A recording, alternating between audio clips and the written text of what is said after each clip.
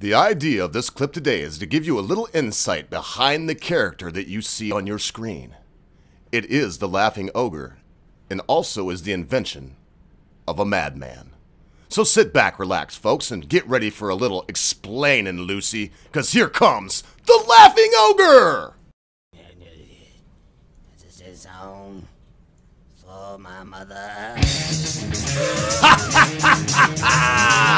I am Jack's alter ego, invented to entertain you and to provoke the deepest of thoughts. hey, YouTube, it's so good for everybody to be seeing me today. Thanks, Real Me. Thanks a lot, Real Me. And I'm going to shut this music off right now. Uh, there's going to be some music over top, as there always is. But as you know, um, constant viewer, I'm a little different. But because I got some new people coming over to check me out, and I had the pleasure of being on the Honey Badger radio yesterday, and I think some people get lost in the idea of what we do, and I felt nothing but respect from the panel.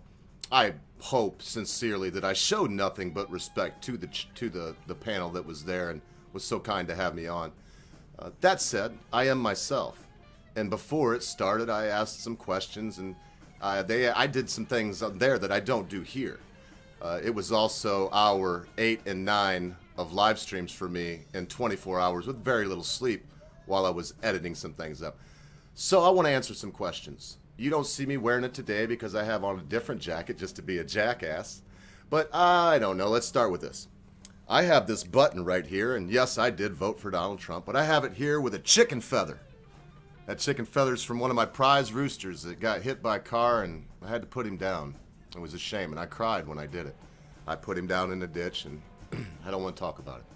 But this is a feather from that chicken. And he was bad to the bone, but he was nothing but a chicken. And I keep that there to remind me that I don't want to see Donald Trump be a chicken hawk now.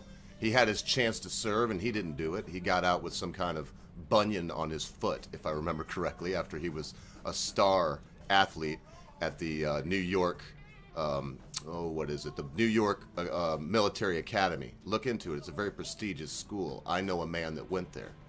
I won't say his name, but he is a famous televangelist at this point. Anyway, let me continue.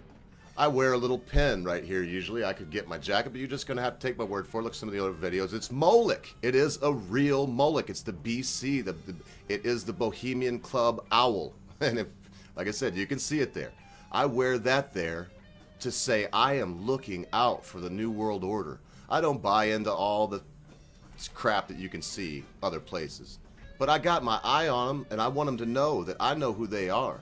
I could be a member of their club, but I choose not to be. I don't want to be. I want to keep my eye on that club, and I want to keep my eye on the Bilderbergers, and I want to keep my eye on the Council for Relations, and the, all of them. I want to keep my eye on them. Another thing you'll notice is that in my pocket right here, I usually have a silk, a red silk handkerchief. It's because I got my eye on the Pizzagaters too. I had a chance to speak to a young lady that is very close to me, and you'll know who you are when you see this. I was told by her that some of the things that I said to her, and she knew I wasn't trying to be bad in any way, but these things, hmm, because she's not an SJW, I, am going to use the word because I don't know a better one these things triggered feelings inside of her. And so I cut it out right away. I apologized and I changed the way that I addressed this very dear young lady to my heart. That said, that napkin is there to remind myself and the viewers that I got my eye out for people that would worry about a map on their handkerchief. anyway, let me continue. Let me move on. The suit. I'm a chicken farmer. I used to wear a suit. I, I traveling salesman. I've sold things most uh, all my life. I've been a salesman of one form or another. Uh, so I wear this suit as a mockery of pretentiousness, as a reminder to myself that I'm only a human being. And whereas, to quote somebody from the Honey Badger, let me see if I can do this without laughing my butt off, but to quote somebody from the Honey Badger radio, uh, I think he said that I look like a, a, lar- a large gorilla in a clown suit. with a funny hat. Thank you so much. You people out there that come to troll me and whatnot, wherever I may go, uh, you don't realize that I am the king of the trolls. That's why I call myself the Laughing Ogre. And it tickles me to no end when people do things like that. So I would sincerely like to thank you. So I hope that I've explained somewhat the persona that I'm bringing here to you today. The reason why. I don't want you to take me too seriously, folks. Most of the time, what I'm doing is an utter act. And you would not know me if you met me on the street, if you're judging the me that is me by the me that I present to you here. This me is a concoction that I've created. It's something that I made out of whole cloth. It is a figment of my imagination that is only here because I continue to imagine. That said, people, continue to stay out there. Go check out the Honey Honey Badger Radio, man. They're they're really cool people. I don't agree with everything they say. I don't agree with everything anybody says, though. I'm sure they don't agree with everything I say, but what respectful, kind folks. I, I really would encourage everybody to go take a look at them. And y'all know the rest of them. Check them out in the links. I got a lot of plugs I could give, but right now I'm just going to say, hey, remember, folks, be good to your friends, be good to your family members, be good to your loved ones. Be quick to say you're sorry. Be even quicker to accept an apology, especially when that thing your friend, your family member, your loved one has done seems to be so huge, you'll never be able to forget it.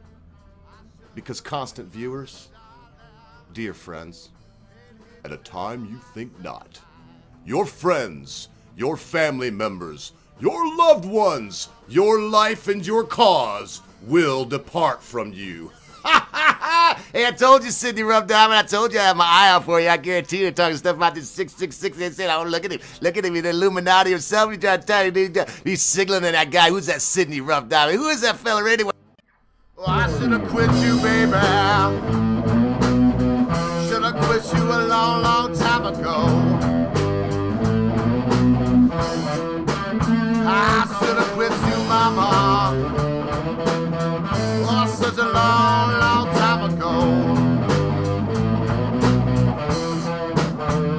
I never would have found myself here in this predicament, down on this tin floor. Ah, so cruel. I should listen, mama. Should listen to my second mind.